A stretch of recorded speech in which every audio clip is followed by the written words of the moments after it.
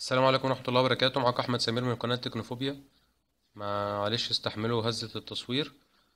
آه، دلوقتي أنا دخلت الفلاشة واتأكدت إنها دخلت من على الويندوز. هقوم عامل restart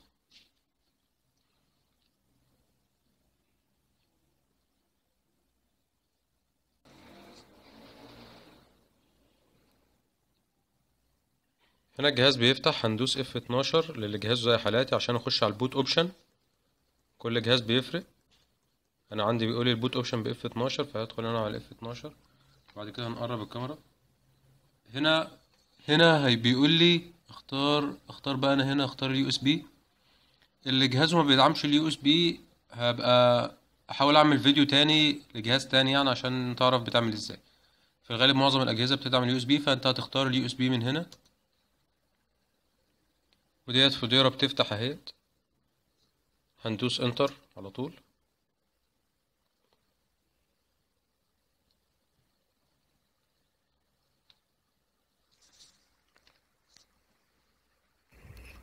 طبعا أنا ما بعملش أي حاجة هي آه، بتشتغل لوحدها. هيفتح طبعا ال li- ال live preview أو ال live image بتاعتها يعني كأنك سطبتها.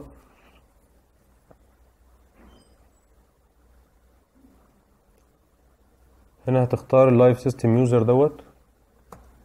أنا أول مرة ما كانش بيبقى موجود كان بيدخلك على طول في العادي يعني. بس زادت تكة enter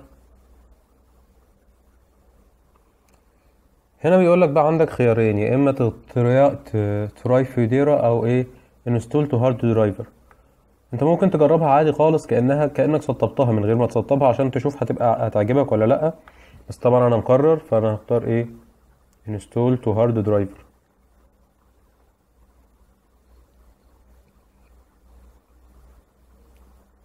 نظام ال installation system بتاعهم. انت بتختار من هنا اللغة. آه، أنا هختار اللغة الانجليزي و United States زي ما هي اهيت. وهدوس على continue اللي تحت. مش عارف هتبقى ظاهرة في التصوير ولا لأ.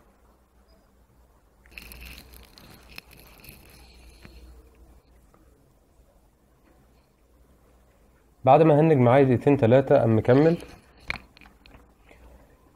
آه، هنا هتختار أول حاجة ال keyboard. أنت عايزها إنجليزي بس أو ممكن تزود أكتر من لغة.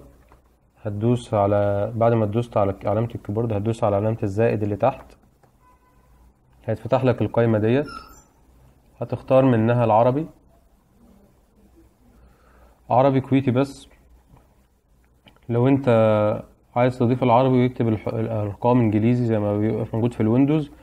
آه، كويتي and digits اللي هي إيه؟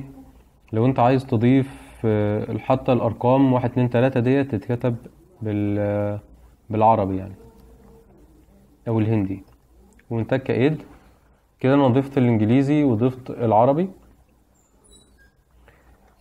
آه، هنا هتلاقي عندك على اليمين كلمة change option ال option ديت هتختار إزاي تقلب العربي والإنجليزي. الناس متعودة على alt shift صح؟ فأنت هتقول له alt shift يا عم يعمل لي ال- البتاع ديت وأنا متعود على طريقة كمان اللي هي Windows key and space أنا متعود عليها بعملها على طول بقلب بيها يعني. فأنا اختار له دي كمان. يبقى أنا اخترت Windows key وال space وال alt shift وادوس okay.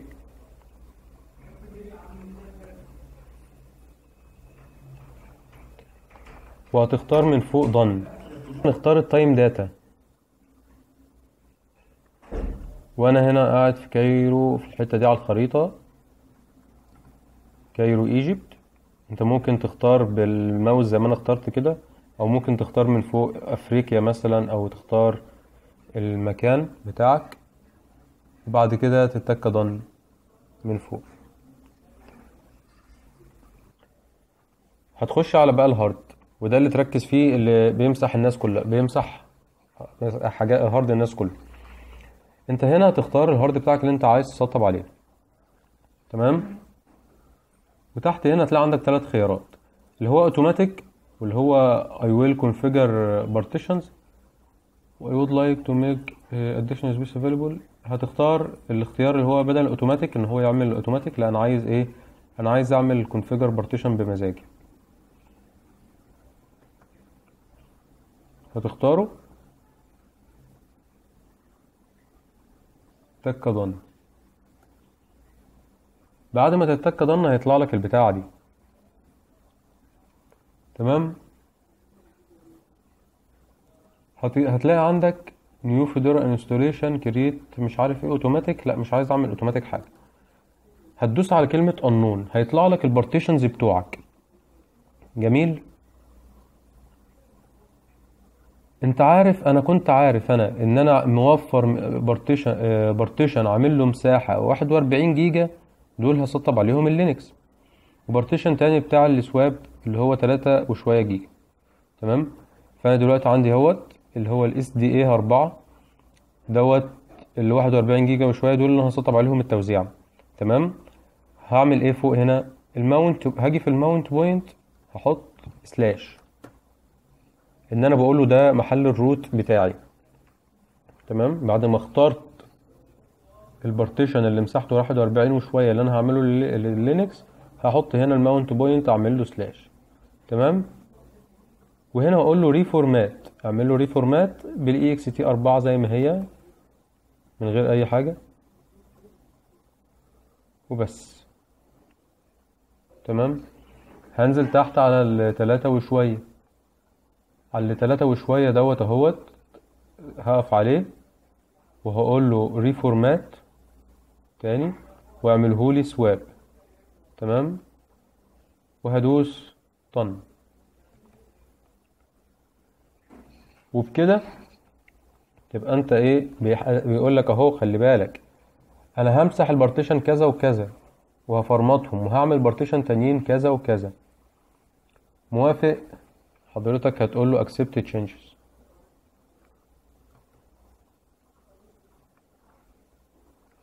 بعد ما قلت له accept changes هتيجي هنا.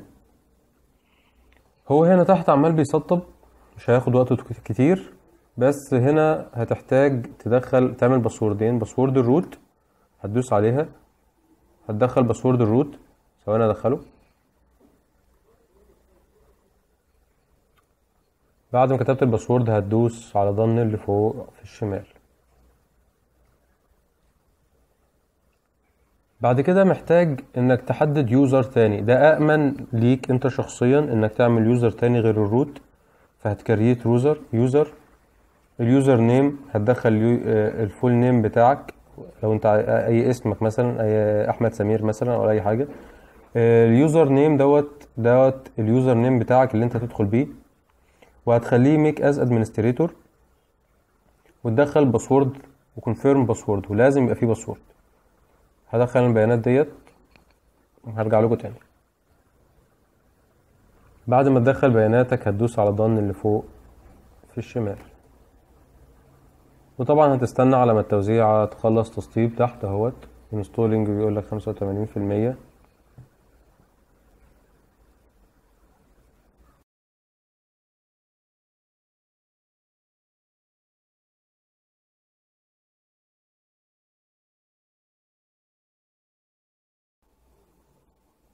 وبكده يبقى انت سطبت فيدورا بنجاح هندوس out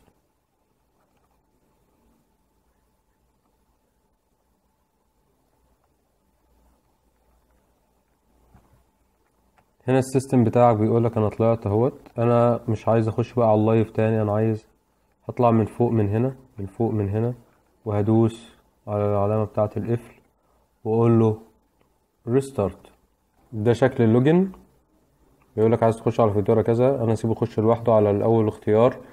واخش على أول اختيار هو دوت الفيدورا اللي أنت سطبتها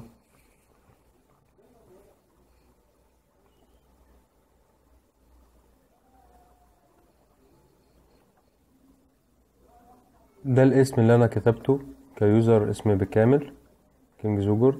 ودوت ال password المفروض أدخله ال password.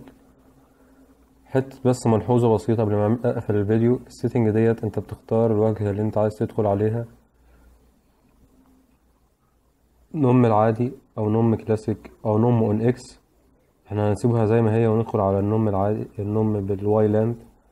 اشوفكم على خير في الفيديو الجاي. شكرا.